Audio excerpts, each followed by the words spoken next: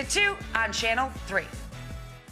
Okay, spring is right around the corner. If you were like me, you are very eager to get out and work in the yard. Chances are with COVID this past year, you've been cultivating that green thumb of yours a little bit more anyway. So it's the perfect time for us to get you excited about the native plant sale coming up uh, in the month of March, all part of Tennessee Wild Ones. Beverly Inman Ebel joins us this morning along with Christina Schoenefeld. They're going to get our green thumbs even greener. Good to see you both. Thanks for having us here. Okay, so as I understand this, Beverly, I'll start with you, and that way we're not stepping over each other. Um, what the way this is going to work is this is in part a virtual event, and then a real life, put your actual hands on the plants plant sale coming up at the end of March. That's right. So March 19th through 21st, we have a three-hour seminar, very in-depth about trees, and then seven different speakers. And some of these speakers are are the, the grandfathers of native plants. And then on the 27th, we're having the native plant sale at First Horizon um, Pavilion, and we have over 10 um, vendors there. So wow, and food trucks, it's going to be great. Okay, Christina, I'm getting ki a kick out of hearing your dog in the background. So just don't worry about a thing. We all have a dog at home, and that's the way the world works uh, these yeah. days. Talk a little bit though about the beauty and the power, really, of including native plants in your landscaping.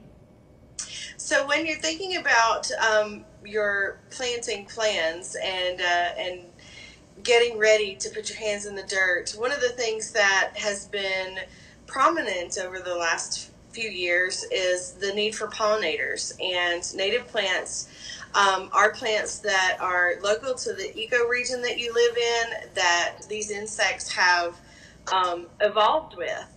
And so, in addition to being beautiful and having um, long bloom periods throughout the year uh, or successional bloom periods throughout the year, they're really helping to increase our pollinators and to give them the food they need, which then, of course, in turn feeds our birds and so on and all the way up to us. So, uh, native plants are a great addition to any landscape, whether you already have a laid out plan or whether you're starting from scratch. When you're talking about these pollinators, and Beverly, I'll throw it back to you now, within the seminars, will you have any uh, classes about how to plant some things that might keep pests and bugs away naturally, and that way we're not having to use pesticides so much? Is that a concern for the pollinators?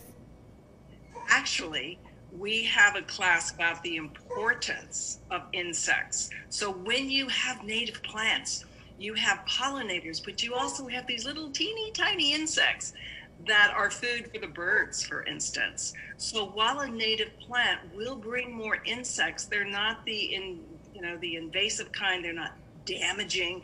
They're actually helping not only the plant, but they're helping the world. I used to be afraid of bees.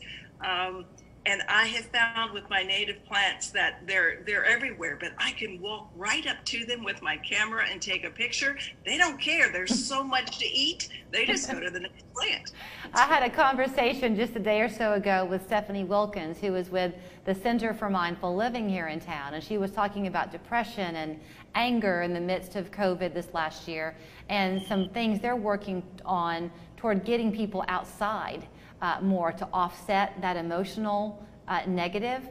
I'm sure you've seen an uptick in people wanting to get involved with gardening because it is such a stress reliever over the course of this past year. True? Yes. Definitely. I'll throw it to you, Christina. You're trying to be polite and not jump in.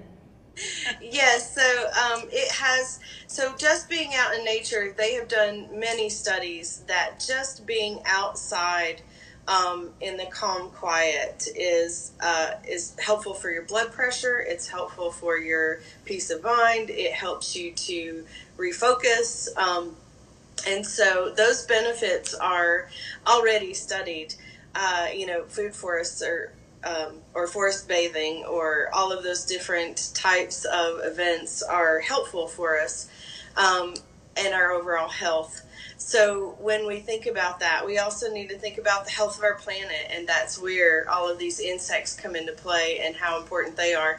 And it can be um, incredibly stress relieving just to sit there and watch all of these tiny bugs that you would never even think about in your day to day moving on and doing their product their productivity work um, and then them kind of being able to take a deep breath and then move back into all the things you have to get done in your day. So with the upcoming event the virtual event that's march 19 20 and 21 you do need people to sign up for that ahead of time and is there a cost associated with joining virtually? Yes it is a they are both um, the seminar on friday morning and the uh, symposium portion itself are both paid events. You can see all of the details for that at tnvalleywildones.org. Okay. We have a specific place there. Um, our Wild Ones members do get a discount. And then, uh, Beverly, with the plant sale that comes up at the end of the month, is that something where it's a first come, first serve for the items available at the pavilion, or do you make your orders ahead of time and then you pick up? How does that work? It is free to the public. Uh, it is first come, first serve. Uh, there will be so many plants there. Uh, it, to my experience, um, Chattanooga has never had a, a, native plant sale to this extent. It's, it's just going to be fabulous. So bring the family, rain or shine, uh, because it's under the pavilion. Um, it's going to be great. And I want to mention one other thing. Uh, if the dates of March 19th through 21st do not work with your schedule, anyone who registers online, the courses in their entirety are available for six months. So you can go back or you wow. can you know relearn um, it's it's a wonderful opportunity that is a great thing for you to mention i'm so glad that you put in that plug so let me share again uh, the website that people can go to to go ahead and sign on and maybe also learn about becoming part of the wild ones on your own as you develop that green thumb of yours tnvalleywildones.org is the website. Again, it's called Plant Natives 2021, the virtual symposium coming up that weekend in March, then the plant sale itself coming up at the end of the month. Welcome spring. Thank you both. Thank you. Thank you. We appreciate you having us.